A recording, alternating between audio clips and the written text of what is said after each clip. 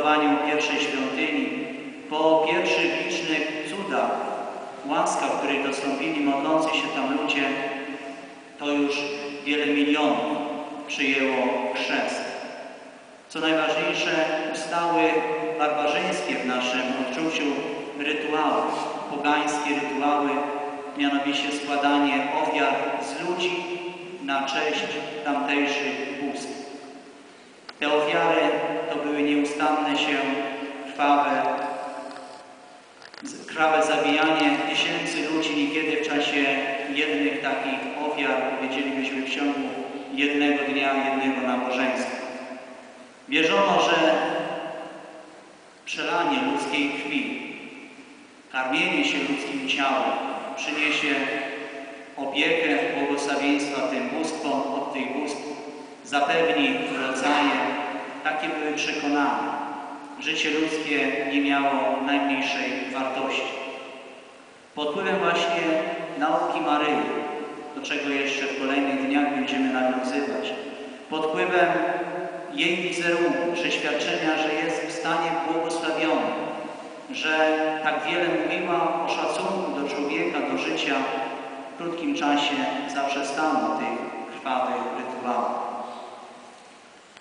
Wiedziano, wierzono, że ona właśnie zwyciężyła te nielitościwe, niemiłosierne bóstwa meksykańskie. Zresztą wierzono, że jest ona tą, która zwyciężyła największego wroga człowieka. Zresztą nazwa święta Maryja z Guadalupe oznacza ta, która depcze głowę węża. Pod wpływem tych objawień Matki Bożej z Guadalupe, wymowy tego obrazu, jak już wspomniałem masowo, ludzie zaczęli przyjmować chrześcijaństwo, zaczął się zupełnie inny okres w dziejach samych Azteków, jak i mieszkających tam Europejczyków. Dało to początek wielkiej ewangelizacji całej Ameryki Łacińskiej oraz Ameryki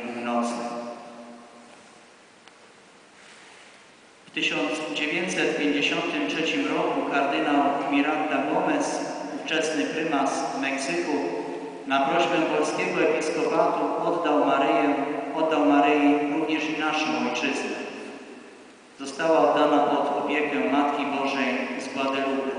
I dlatego też do dzisiaj jest wiele parafii, wspólnot parafialnych, które są pod wezwaniem Matki Bożej z Guadalupe.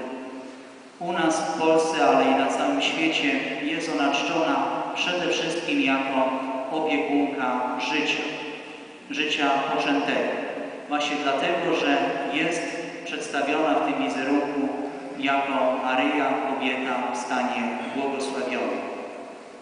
Jest ona opiekunką wszystkich ruchów, które pragną promować cywilizację miłości, bronić życie nienarodzone. Również tych wszystkich, którzy włączyli się do dzieła duchowej adopcji. W kolejne dni będziemy przybliżali jej przesłanie, jej orędzie, ukazywali jej aktualność w naszych czasach, w tych środowiskach, w których żyjemy. Dlatego już teraz gorąco zapraszam do dalszej wspólnej modlitwy w poszczególne dni, zwłaszcza na mszach świętych o godzinie 18, później na czuwaniu, aż do godziny apelu jasnogórskiego. Nie sposób na to wszystko, z czego dokonała Maryja, spojrzeć inaczej jak przez pryzmat wiary, naszej wiary. Dlatego teraz wyznajmy ją wspólnie.